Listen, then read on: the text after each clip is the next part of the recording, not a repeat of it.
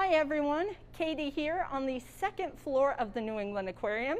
Right now I'm hanging out with the very difficult to miss Goliath grouper. Now this fish can get to be about eight feet long and 800 pounds.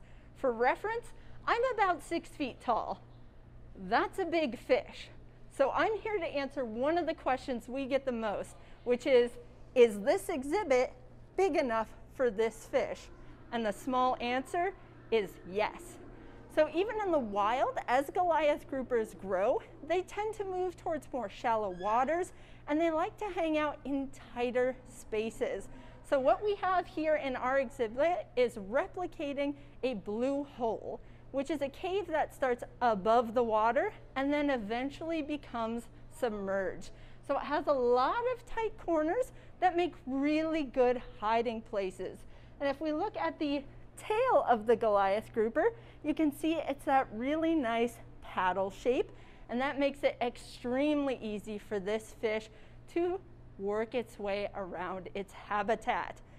So even though this is a very big fish, the exhibit that we have for ours here is the perfect fit. I want to thank you all so much for joining me today for another Animal Facts video. If you want a Goliath grouper amount of content, be sure to subscribe to the New England Aquarium's social media channels. Thanks again, and I'll see you next time.